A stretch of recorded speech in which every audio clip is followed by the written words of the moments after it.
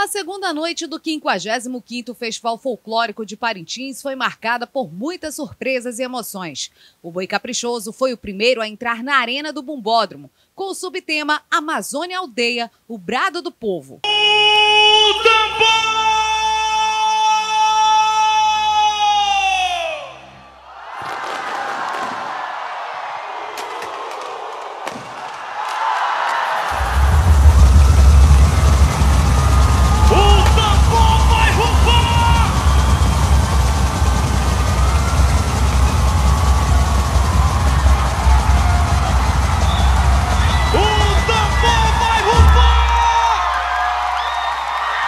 Boi!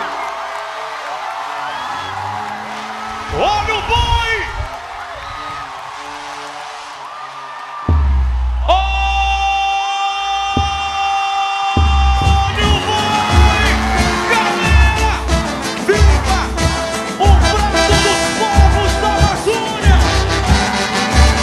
A apresentação mostrou a pluralidade e a resistência dos povos e comunidades tradicionais da Amazônia.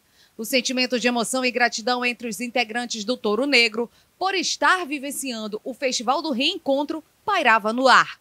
O item 15, como figura típica regional, apresentou o Caboclo da Mata, mostrando a vivência do homem que aprendeu com os seus antepassados a cuidar mais da floresta. O item 17, Lenda Amazônica, tinha como nome Os Trilhos da Morte e trouxeram a narrativa da construção da ferrovia Madeira-Mamoré, o que arrepiou a todos. O boi caprichoso fez a galera se encher de emoção ao surgir no meio do povo. Um dos momentos marcantes foi a história da unificação do povo Guaiana Apalai, que habitavam a fronteira entre o Brasil e o Suriname. No momento tribal, o caprichoso reverenciou mulheres guerreiras como Tuíra Caiapó, Célia Chacriabá, Sônia Guajajará, Samela Saterê, Alessandra Cabá, Tepore e Aualapite. E a Conhamporanga, Marciele Albuquerque Munduruku.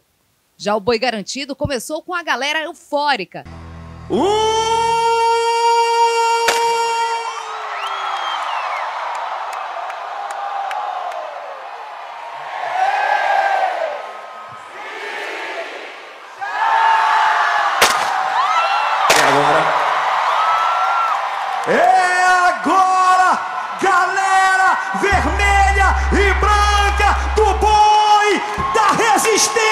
cultural.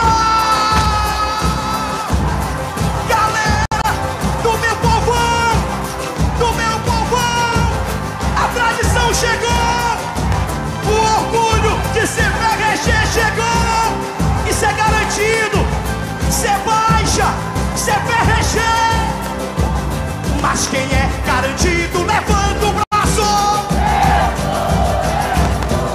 celebrando a volta do Bubódromo e teve a sua apresentação marcada com um combate ao racismo ao celebrar a negritude e relatou a diversidade cultural do Brasil durante o espetáculo. O primeiro ato da apresentação do boi branco encarnado resgatou a história da cabanagem, que trata da figura típica regional. Um dos momentos mais marcantes foi a apresentação da lenda Xandoré e Tissê, da etnia Tupi-Guarani. O ritual indígena retratou o fim do mundo Carajá, arrepiando toda a galera.